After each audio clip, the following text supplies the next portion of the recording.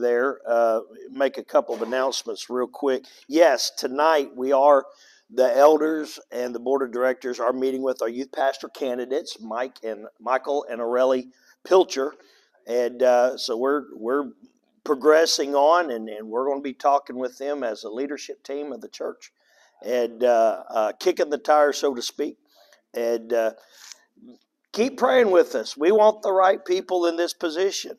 And we want the best for them as well. And uh, I believe if we're all praying to that end, Lord, let your will be done, it will be done. And uh, so we would very much appreciate your prayers on that. Uh, announcements for stuff that is coming up. Uh, this coming Friday is going to be uh, Thursday night. Quilting is canceled. Just remember that. Uh, no quilting part- party going on. Friday night will be game night here. So uh, y'all come out. We're going to have some uh, 42, maybe some Mexican train, or or what did what did you call it? Hispanic locomotion. Yes, we're going to be having some of that going on in there. The uh, uh, and bring you bring you finger foods and all that sort of stuff. And uh, I do need to make a disclaimer right now. Any money won must be tithed on. You hear me? Hey, we're firm believers now. Got to give God a share. Uh, and then uh, uh, don't forget the uh, our church's 16th anniversary coming up. There, there is on the table out here in the foyer. There is uh, sign-up sheets uh, to bring food for the fiesta we're going to have, and so um, fiesta does not mean beanie weenies. Come on, people. I like them too, but this is fiesta now. I guess you put a little chili powder in there. Maybe that'll make it a little more festive. But uh, y'all sign up for that. We're going to have a great time. Great, great time. Looking forward to that. Is that it? Is that all the announcements? Lynn, do we got anything else? Very good. All right. This, the topic for today and next week is going to be dealing with being led by the Holy Spirit. How do you know if we're going to be a church after the heart of God, we have to be led by God? And that's the Father's on the throne. If you're wondering where they're at, God's on the throne. Hallelujah. No matter what's on Capitol Hill, we know who is on the throne. Jesus is at the right hand making intercession for you and I. That's what the Bible says. So, who is it that's down here doing all the work? It's the Holy Spirit. We do not need to be afraid of the Holy Spirit. And uh, uh, all the Pentecostals saying, yeah, those that aren't, mm, no. Look, the Holy Spirit is not here to make us be weird. We do that on our own.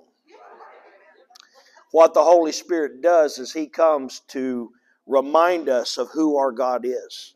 He's here to lead us and direct us. If we follow those steps, uh, God's going to do a do a fantastic job. And I just kind of feel like bringing a word today because I had me some apple pie warmed up with some ice cream on it. So we'll get out here by 8 o'clock, I promise. And uh, the gumbo, by the way, fantastic. And I, I do have a disclaimer on this. My wife is my witness. I'm making my admission to my mother, okay? I had boiled okra for the first time in my life. It was good. It, it was. Looked like snot hanging off the fork, but but I ate it. I ate it, and it was good. It was good. Fantastic. And uh, uh, what? I'm just I'm just curious. We're going to ignore everybody here and have a conversation. What sausage did you put in that? Okay. Good. That, I'm I'm a white boy, and that, that put a spice in my mouth. I, I think I drank three cups of water chasing that sausage down. That was fantastic. Thank you. So dealing with dealing with being spirit led, because as Christians we need to live a spirit led life. And when we come together, it means we need to have a spirit led church. Because God knows how to do this better than any of us. Matter of fact, He knows how to do this better than any of us. And uh, I, am a firm believer that the Holy Spirit will do the job if we get out of the way and let Him. William Booth had started the Salvation Army many, many years ago. At the end of the 19th century, made this statement. He said, The chief danger of the 20th century, and I think you'll see this bleeds over into the 21st. The chief danger of the 20th century will be religion without the Holy Spirit, Christianity without Christ, forgiveness without repentance, salvation without regeneration, politics without God, and a heaven without a hell. And I think I think the man was a prophet at that moment when he wrote that because that's exactly where we are living at today. So, to tell you how the Holy Spirit leads us, let's talk about Bobby the Wonder Dog a minute. In August of 1923, some of y'all remember them days, Frank and Elizabeth Brazier, uh, with their daughters Leona and Nova, went on a road trip to visit relatives in Indiana. It was about a 2,500 mile trip from Silverton, Oregon. And I got the map there where you can kind of see the track. When they left the Northwest bound for the, uh, the Midwest, they also brought their family pet Bobby, who was a two year old Scotch Collie English Shepherd mix. And at some point during their time in Indiana, their dog got in a fight with three neighbor dogs. Having you know that's a little outnumbered. And uh, uh, they whooped up on Bobby pretty good, and Bobby ran off like any wise creature would. And after a very exhaustive search, they couldn't find the dog. And the, when it came time to head back to Oregon, they, the dog never came back to the house and they wound up leaving brokenhearted because they had to go home without their family pet. In February of 1924, six months later, Bobby showed up at the house in Silverton, Oregon. Mangy, dirty, and scrawny, and all of her claws just worn down to nubs. That he showed all the signs that he walked the entire distance. Think about this swimming all the rivers, crossing the continental divide over the mountains during the coldest part of the winter. How on earth? During this ordeal, that again, 2,500 miles across plains, deserts, winter mountains, all to get home, that would be approximately 14 miles a day over a six month period just to get home. And after he showed up at Silverton, word got out and it was in the newspaper, and, and there was like a meteoric rise to fame. I mean, suddenly Bobby was a famous dog, uh, getting national attention and featured in newspapers all across America. He was the subject of an article in Ripley's Believe It or Not, those of you that can remember that. Uh, books and, and film. Matter of fact, Bobby played himself in a 1924 silent film called The Call of the West and even got letters from people overseas. Why would you write a letter to a dog? I don't know, but they did. They wrote letters to them. Interestingly, during the original trip, when the Braziers were heading home, it's like it was way back then. You didn't have motels everywhere. You didn't have money to, to access one. So they would park every night at a service station under the lights, and they would spend the night in their vehicle. And uh, reports came in about seeing this dog traveling, and apparently that dog followed their exact route, going to those places like it was smelling their owner there, knew it was on the right track, and just kept on going, and never stopped until it got home from its journey. Truth is stranger than fiction. It's crazy the stories that are out there. And and phenomenon like this just really blow my mind thinking about how this happens. Like with migrating whales and birds to homing pigeons and and and this isn't the first story we have heard about a cat or a dog that went cross country to find their owner. I mean that's not the first or only one. It's happened again and again. And it's almost as if a hand leads them when the whales migrate, when the birds are flying north or south. It's as if a hand is leading them. And maybe it is because this sort of thing happened once before and it's in your Bible. So we're going to look at 1 Samuel chapter 6. 1 Samuel chapter 6, starting in verse number 1. This is after what was called the Battle of Ebenezer. It said, The ark of the Lord remained in Philistine territory seven months in all. Then the Philistines called in the priests and the diviners and asked them, What should we do with the ark of the Lord? Tell us how to return it to its own country. Send the ark of God of Israel back with a gift, they were told. Send a guilt offering so the plagues will stop. Then, if you are healed, you will know, uh, then if you're healed, you will know it was uh, his hand that caused the plague. Well, what sort of guilt offering should we send? They asked. And they were told, Since the plague has struck both you and your five rulers, make five gold tumors and five gold rats, just like those that have ravaged your land. Make these things to show honor to the God of Israel. Perhaps then he will stop afflicting you and your gods and your land. Don't be stubborn and rebellious as Pharaoh and Egyptians were. How do you know it's good to see it's not just Christians who are stubborn? Hallelujah.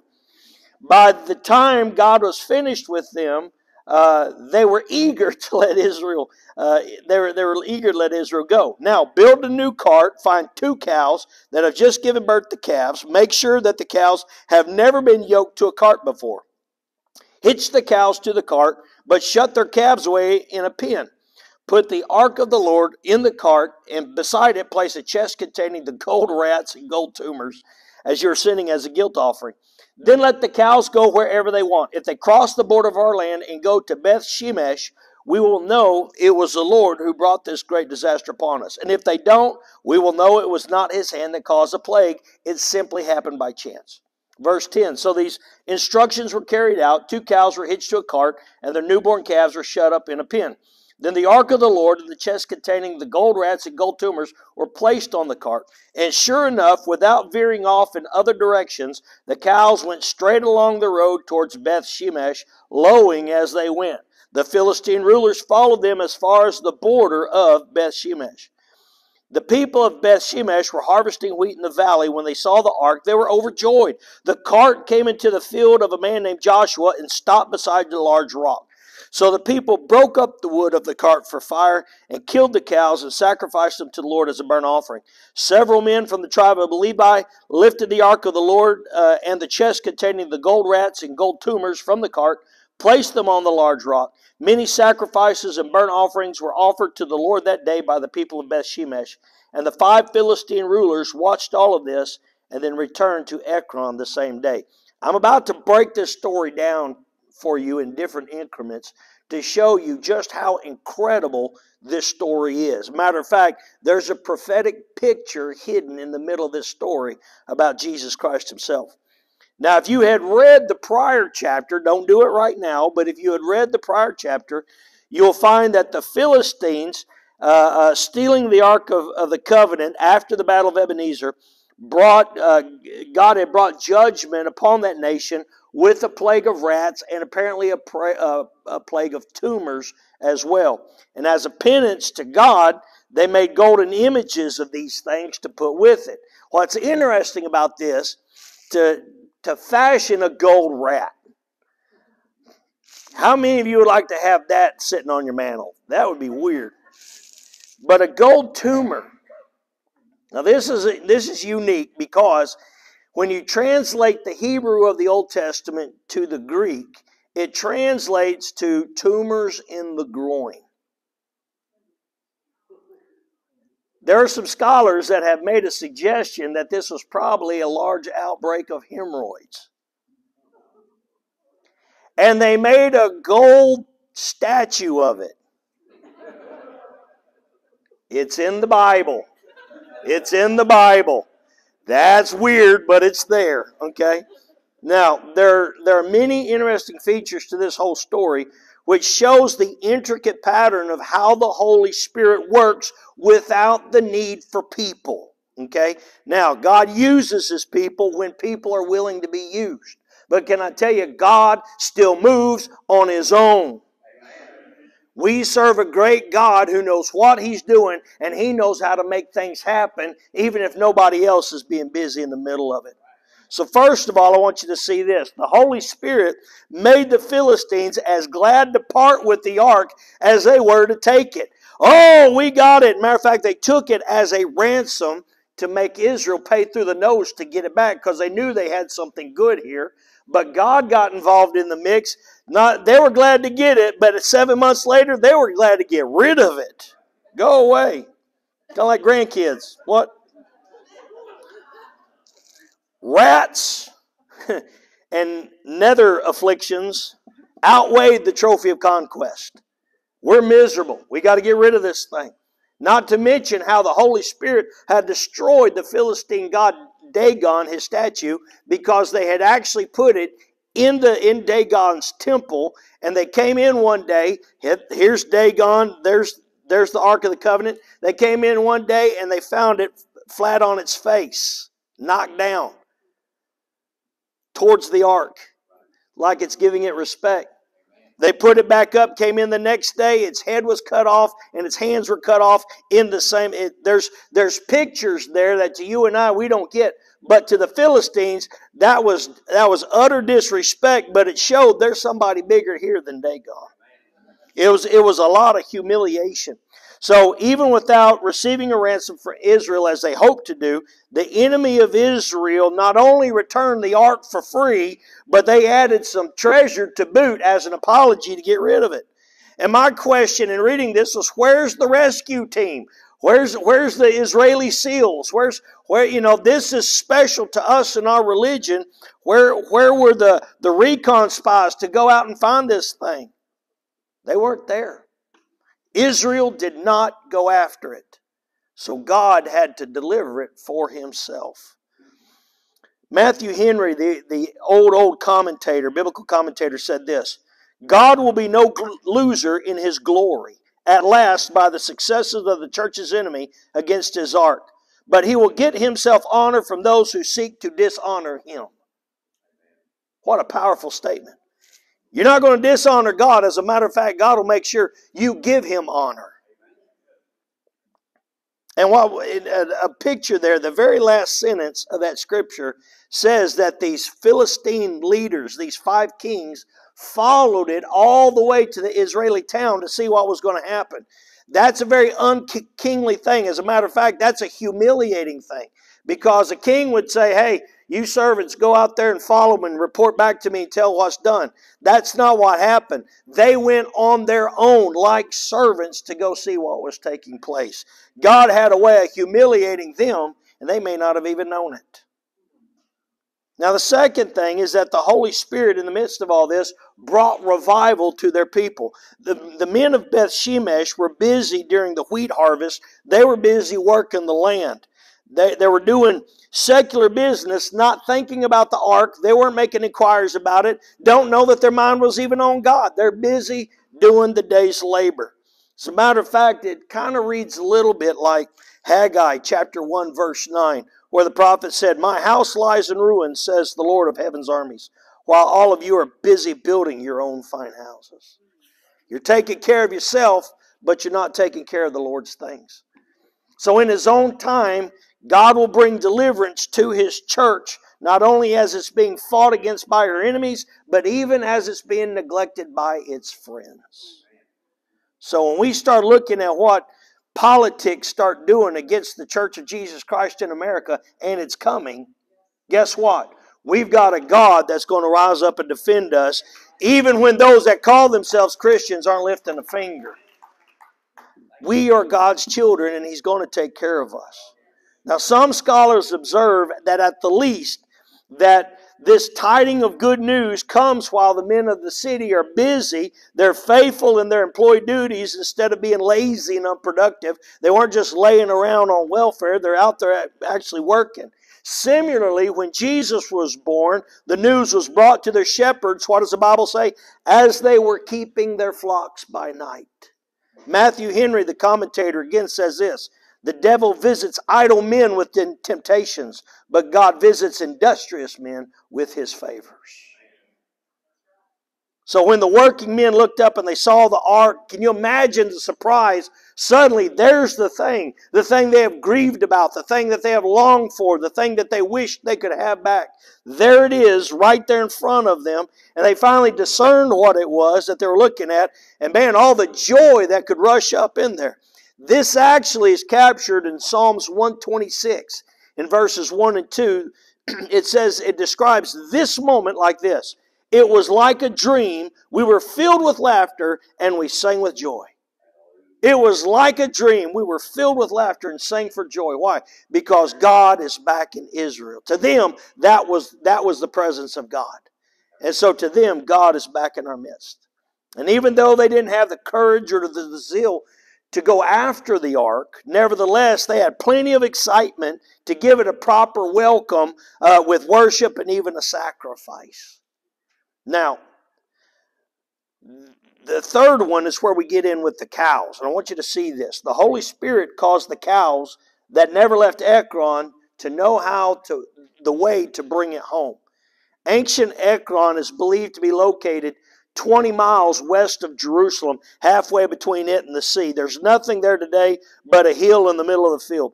Ekron was about a 10 to 12 mile journey from Beth Shemesh. Imagine uh, there's you got you got Ekron over here in Philistine territory. There's a line, and just across the line is the first city you come to uh, in Israel, and that's Beth Shemesh. Now, think about all the hurdles that the Philistines made for this sign to be clear, uh, to prove that God was actually in the scene of all of it. You had these cows that had never been yoked before. I don't know if any of you have ever had to yoke cows before. It's kind of like getting on a horse that's never been broke before. They just take to it like that, don't they? No. They had never left their calves before. These are brand new calves, and a mama cow, they guard them calves. And they had never been away from their own fields. They'd never been out of this territory. And yet, those cows drew the wagon orderly, the Bible says, always forward. There was no driver away from their barn and their babies, never turning away to eat or to rest or get a drink. They came straight to the city of Beth Shemesh, which, now get this, Beth Shemesh was a priestly city that dated back to the days of Moses' brother Aaron. Smack dab in the middle of Judah, the land of the temple priests, to a field full of priests who knew what to do. Now get this. Not only did that thing just roll up into this town, it picked a town full of priests. This ark would not matter to anybody else near as much as them. And not only did it show up to them, they knew exactly what to do with that box. They knew exactly what to do in that moment because God made sure it got to the people who knew what it was and how to appreciate it. That's God, man. That's incredible. When you, it could have rolled up in some other town, Florence, Israel. you know, oh, what's that? It's a gold box. Bring it here. I got stuff to put in it. You know, we don't know what to do with the Ark of the Covenant. They did. Beautiful. The Holy Spirit led dumb animals against all odds to the right place and to the right people. And of all things, the Bible says they brought it to the field of Joshua with the large rock in the middle which comes from the Hebrew word Yeshua, which is the same name as what? Jesus. It says they brought it to the field of Jesus that was full of Jesus's priests in the middle of a field next to a large rock. Can I tell you what that rock was in the middle of that field? Psalms 18:2 says, "The Lord is my rock, my fortress and my deliverer. My God is my rock." 1 Samuel 2, uh, 2 2. There is no rock like our God. Genesis 49 24. The mighty one of Jacob by the shepherd, the rock of Israel. Deuteronomy 32 says, He is the rock and His deeds are perfect. Psalms 18, For who is God except the Lord? Who but our God is a solid rock? The Lord lives. Praise to my rock. May the God of my salvation be exalted. Paul says in 1 Corinthians chapter 10 verse 4, all of them drank from the same spiritual water. They drank from the spiritual rock that traveled with them, and that rock was Christ. Paul's words. He goes on and says in Psalms 118, the stone that the builders rejected now became the what? The cornerstone. Isaiah 28, therefore, this is what the sovereign Lord says I am placing a foundation stone in Jerusalem, a firm and tested stone. It is a precious cornerstone that is safe to build on. Whoever believes will never be shaken. Can I tell you that the rock and stone in that field was the Lord Jesus Christ in his own field? That's the picture that the Bible is trying to portray right there in that story. It is a picture of Jesus' triumphal entry into Jerusalem. Because here he is, riding on the colt of a donkey. Guess what? That had never been ridden.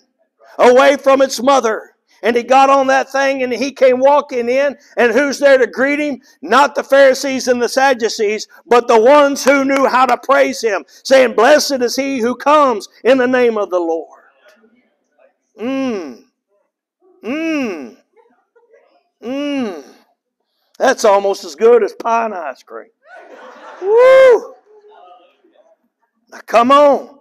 Only God could have orchestrated every piece of that story for it to work out the way it did.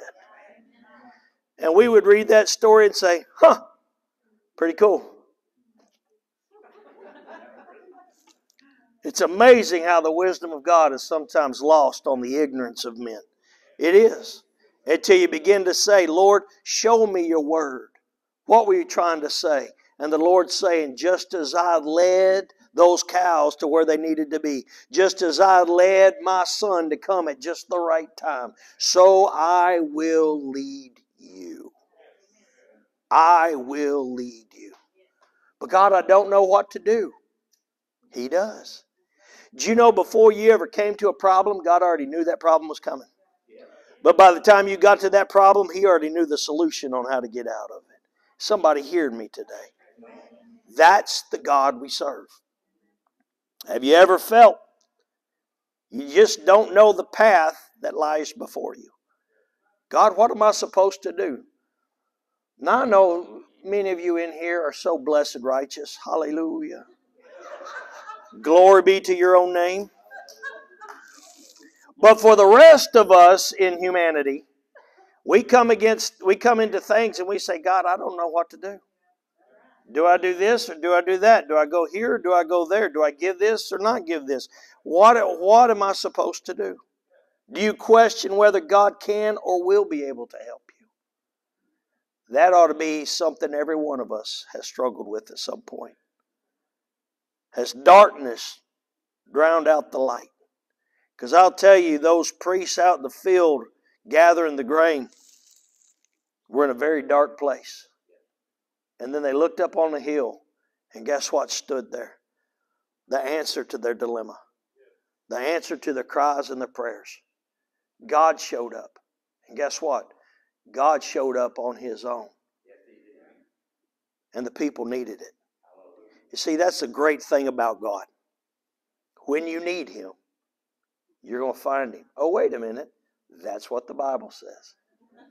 Jeremiah, you will search for me and find me when you search for me with all your heart. You never have to question about whether God will be there because I'll tell you, He's there. The problem is that sometimes our eyes get so accustomed to the darkness we forget that there's light out there. That light of Christ is not like striking a match in the darkness, it's like turning on a, a lighthouse, flooding everything with His glory. We forget. We forget just how good our God is. It would have mm-hmm. been easy watching these earthquakes take place.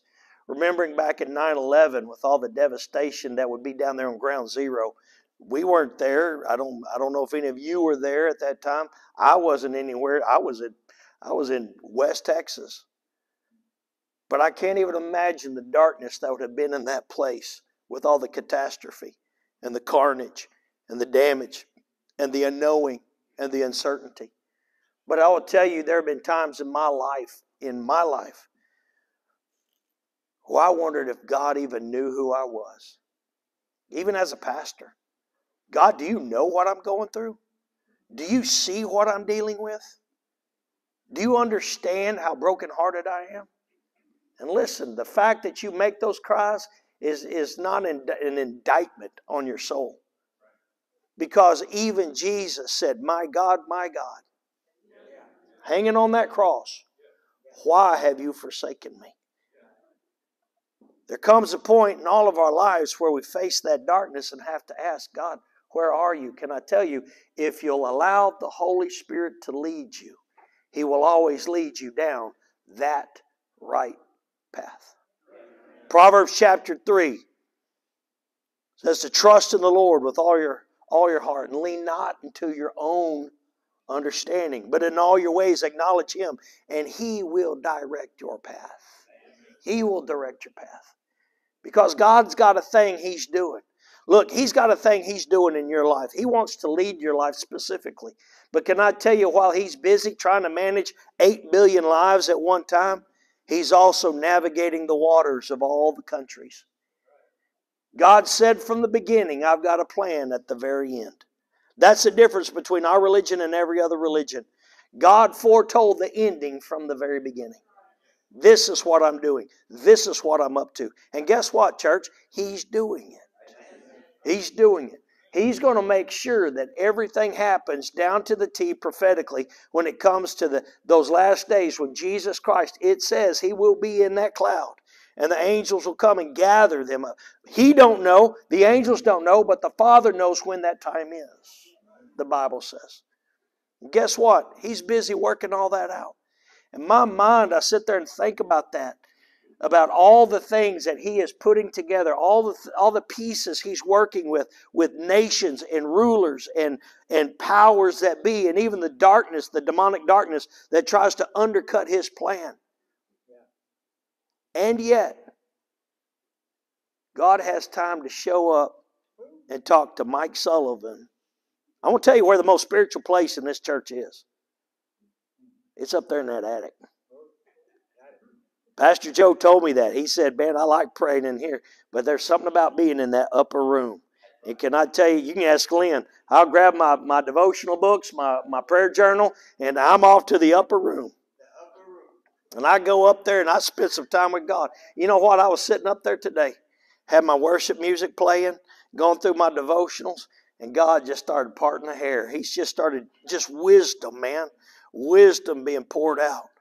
And I was like, whoo, God, that's good. Do you know he's busy working in Turkey and Syria? He's busy trying to sort out the mess in Washington and Hollywood. He's busy, busy, busy, busy, busy. And yet he had time to show up today in that attic and talk to this pastor. He does it. He does it for you too. See, that's what it is about being led by the Spirit. The Holy Spirit wants to lead and direct your steps. There's moments where you you ever picked up the Bible just opened it up and it just happened to be the right word you needed. What a coincidence! Woo! No. God knows what He's doing. God knows what He's doing. And if we allow God to lead us, He leads us in the most beautiful ways. He can lead a dog over the mountains. He can lead cows across, uh, across nations. He can lead you to the center of His will. The hard part is keeping your nose out of it. Because we'll look at it, Mike, and we'll say, Lord, that don't make sense. Since when has God ever made sense? You know what I'm talking about? He spoke and the worlds existed. I never spoke nothing and something was created. You got to get in there and do it yourself. Gonna cause a mess. That's why I have a good wife help me clean it up. But God has a way of making sure you get to where you need to be if you'll just be obedient to be led.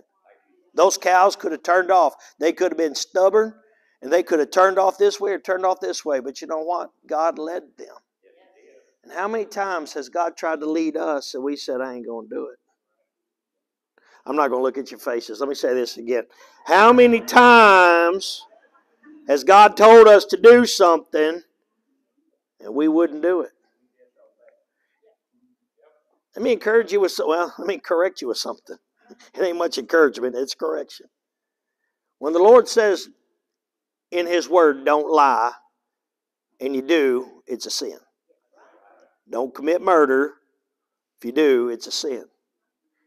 If God tells you to do something and you're not obedient, it's a sin. We have got to live our lives in the obedience of Christ. Because I'll tell you, His ways are better than my ways. His ways are better than your ways. And sometimes it don't make sense. Sharing the story with you, how God laid on our heart to give the, the money we had set aside for a house. We gave it away to a missions thing because God said to do it. And it was like the next day, that exact amount of money came back to us from another source. If you be obedient, God can work great things. And you know what the outcome of that is? You have a testimony. And let me tell you what that testimony's worth. There is a gun, holds two bullets. It's like a Derringer, but it's a big one. And it says that the devil is destroyed by two things. One bullet is the blood of the Lamb. You ain't got nothing to do with that. But that other bullet is what? The word of our testimony. Let me tell you, devil, why I know I'm going to make it. Let me remind you of how you have failed again and again. My God has me. He kept me there. He kept me there. He kept me there. So I know He's going to keep me right there. We don't have to live in fear. We don't have to live in worry because God's got us.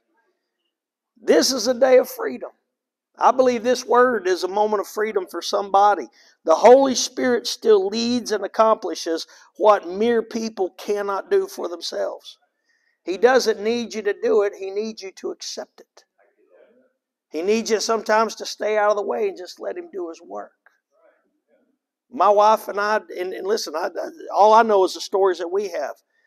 But I'm telling you, just as I'm standing behind this pulpit today. Six months ago, I was unemployed and had no idea what God wanted to do with my life. Look at what God does. He can create something out of absolutely nothing. So, what does God want to do in your life? How is it that God is wanting to direct your steps and direct your path? I'm talking to the church today. You came out on a on a, a post rainy Wednesday night. I'm talking to the church today. You love the Lord. You want to serve Him. The question is, is how well do you let Him lead you? Because as you are led by God, this church will be led by God. What happens if God says, I need the church to go this way, and we buck up and say, mm we're going this way. Why? Because this is how we've always done it. Now, praise the Lord, you've never said that in your life. That's all them other churches out there that say those seven deadly words. We ain't never done it that way before. But what would happen if God's saying, This is how I want to lead a church? I don't know about you, but I want to follow God. That cloud by day and fire by night, I want to follow it. I want to follow him. I want to follow him with my personal life. I want to follow him as a pastor of a church. I want to follow him with you.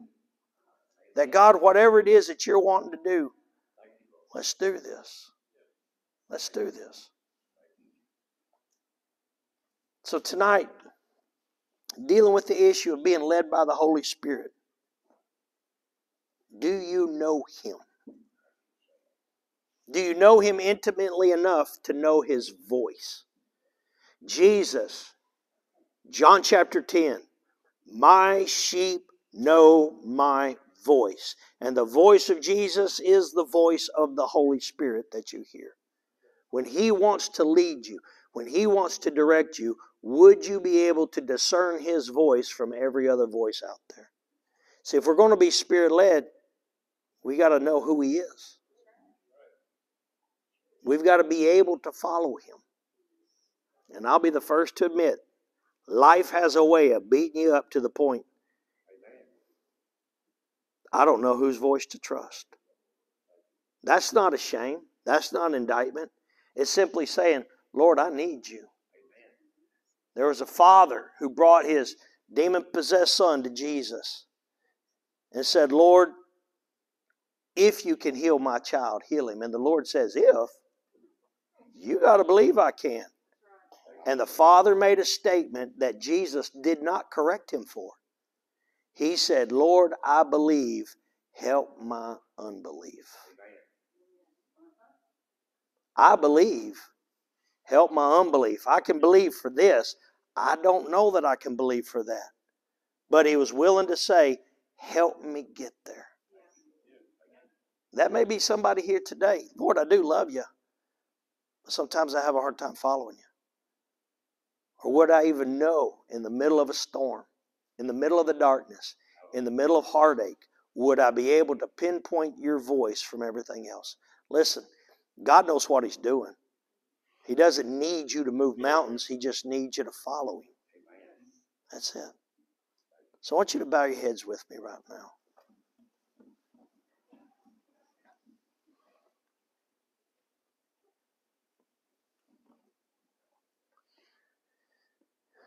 Lord Jesus, we come to you today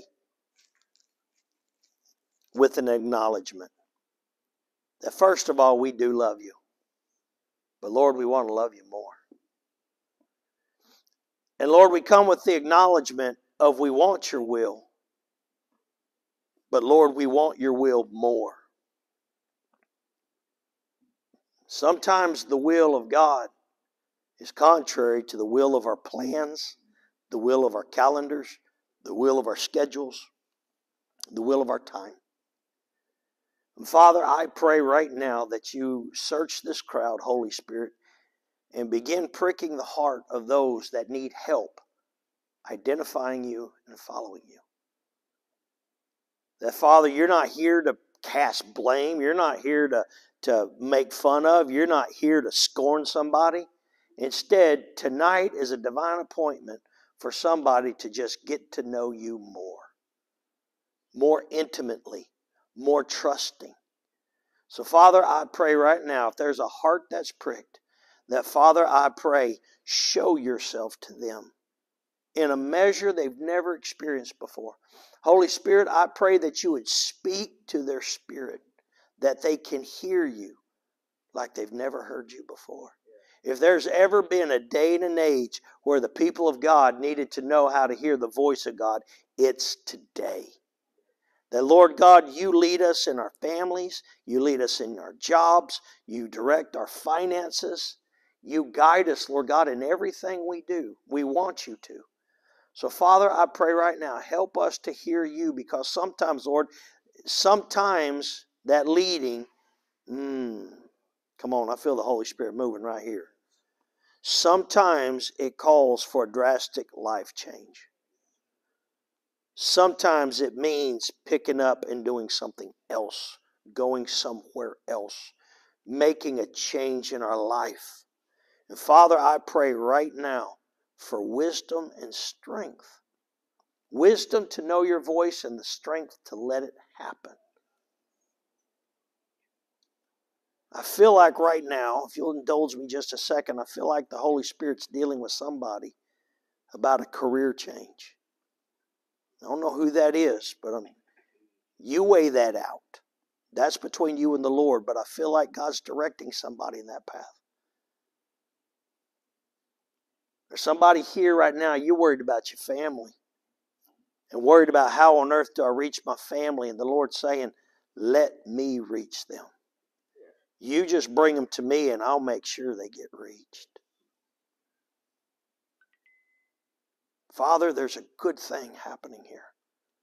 And I pray that you would attune our ears to hear, our eyes to see. You created us with senses, not just to experience food or weather or or things like that. But God, you gave us the senses to be engaged with you. We are to, eh, to experience you in every way. And Father, I pray that right now you would help us to experience you that way. And Father, I'm believing for a testimony to come out of this very night, Lord God, and next week when we again talk about the leading of the Holy Spirit. I believe that, Lord God, you're challenging us to be more than we've ever been, to see you greater than we've ever seen. That Father, I apologize for any time we have ever put you in a in a small box and try to make you seem small. You are great. And you are mighty. And you you you blow all of our thoughts to the wind.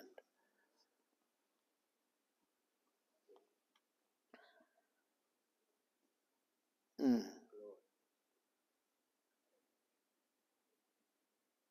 The Lord's putting something heavy on my heart. Can we just be the church tonight? Is that all right? There's some people need they need prayer. And again, this is a church. This isn't indicative of sin or anything, but there's there's some people here that you're going through it. You're going through a hard time. You're dealing with some stuff. And I will tell you the best place you could be is right now because the Bible says that the body is to minister to the body. And this is not a moment of, of embarrassment, but what it is, it's a moment of emboldening. I want you to know you're not alone. I want you to know you're not alone. And if you're here tonight, I want us to be able to come around you and pray for you. If you're here today and you'd say, Pastor, I, man, I'm really needing a touch from God today. Maybe hurting, maybe suffering in your mind, whatever it is. You, you may be here saying, I don't know what to do. Guess what? We want to pray for you. And if you're here today, I'm going to ask you if you would just raise your hand. You say, I need prayer right now. I need prayer. Lift those hands and hold them up. All right, lift, keep them up. Please don't put them down. Keep the hands up. All right, church, I want you to look. I want you to look and I want you to find these with their hands raised. And I want you to get up and go to them. If you raise your hand, keep it up and to remain seated. But I want you, if you see somebody right around you with their hand raised, would you please go to them right now? You don't need to know what the need is, it's not your business. But what, what's needed is we've got loved ones that need to be prayed for. We got loved ones that are going through something. And we want to gather around and we want to show our love for each other and for the Lord we serve by lifting these needs up. Father God, right now, in the name of Jesus, Lord, as we gather around these that are going through something, Father, we're just going to pray. Let your peace surpass all understanding. We're going to declare right now your peace, Lord God, to be with them, comforting the mind, comforting the heart, comforting the spirit. Lord God, we declare that, that whatever that need is, we're going to declare for that need to be met right now in Jesus' name. That, Father, if it's a healing, if it's a direction, if it's wisdom, if it's a provision, whatever that need is, God, we're going to pray right now, meet that need. And Father, I pray that those that are being prayed for can feel the love of God and the love of their church family gathering around them. Lord God, to know we're not alone. We are not alone. But you have us and you hold us and you keep us. And Father, just as they're surrounded with people lifting them up right now. I believe that when they go home and they get in bed tonight, they're still going to feel the presence of somebody with them. And that's going to be the Holy Spirit that makes sure they know they are not alone. They are not alone. And God, we just say thank you. Thank you for how you move. And Lord, we're going to declare right now these, these needs are going to be met. We declare that they are being met right now, Lord God, that you are having your way. And Father, I just want to say thank you. Thank you for what you're doing. Thank you for, for the testimony that's going to come out of this. And God, we give you the glory, we give you the honor and the praise right now. In Jesus' name. Somebody said a good amen. Hallelujah.